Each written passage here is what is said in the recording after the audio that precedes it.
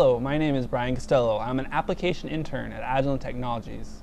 Today, I'm going to show you how easy it is to use Signal Studio for pulse building to create real-world radar pulse patterns. In this demonstration, we'll be using the PSG to generate our signal.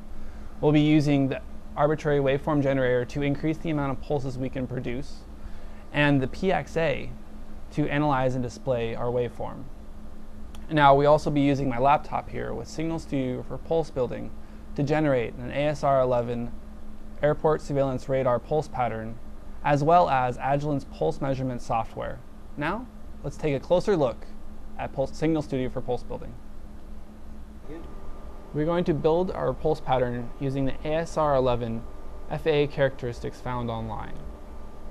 These parameters include pulse width, frequency, power, antenna characteristics.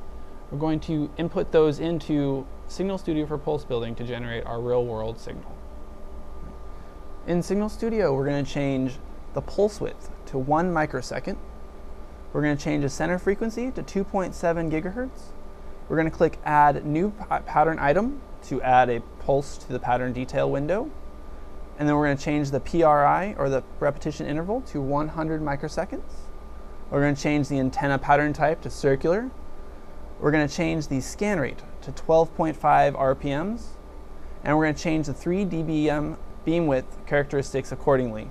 Next, we're going to click the repeat for full scan, which will allow us to get the entire pattern in our pulse signal. And then simply press download and play. Once the signal has downloaded, we're going to check out the entire pulse pattern using the spectrum analyzer. And to do this, we need to change it from frequency to time. The first thing we're going to do is set the center frequency to 2.7 gigahertz. Next, we're going to change it from frequency to time. So we're going to change the span to zero span. And now we're going to change the sweep time, which will give us a full view of the signal. We're going to change it to 5 seconds, which should give us the entire pulse train. Next, we're going to set the detector to peak, so we just see a clean peaks. We're going to change the bandwidth to 3, mic 3 megahertz. And then we're going to change the trigger so we're getting the beginning of the signal to external 1. And once it loads up, we should see the entire pulse pattern. And you'll notice in the display that you'll see two peaks, one at the very beginning and one right here. Those are both the same peak. What they are are supposed to emulate um, radar objects detecting as the radar is going around um, its scan. And now we're going to take a closer look with pulse measurement um, on my laptop.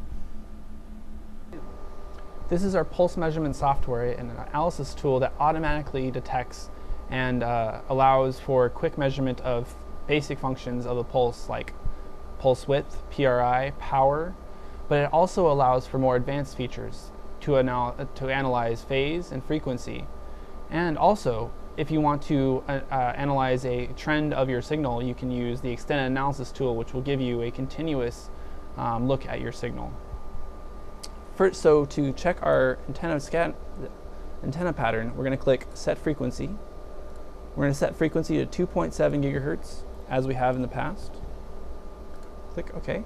And to increase the amount of time that we're getting of amount of pulses we're getting, we're going to decrease our time resolution to about 90 nanoseconds, which will give us 46, 47 milliseconds of scan time.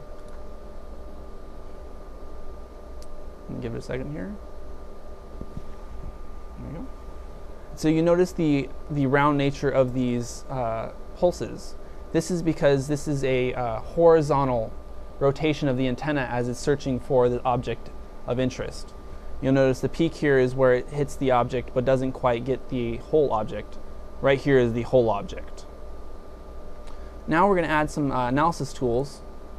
For basic ones, we're going to do width and PRI. Click OK. And then we're going to also do some frequency ones. So we're going to do bandwidth of the signal. We're going to do start and stop frequency, as well as the pulse-to-pulse -pulse phase of our signal. And you'll notice those displayed below here. So today I showed you how easy it is to generate a real-world pulse pattern using Signal Studio for pulse building. We downloaded that signal to our signal generator.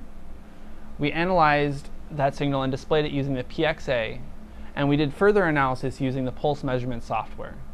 To get a demo for yourself, please contact your Agilent representative, and for more information, please visit agilent.com slash find slash signal studio. Thank you for watching.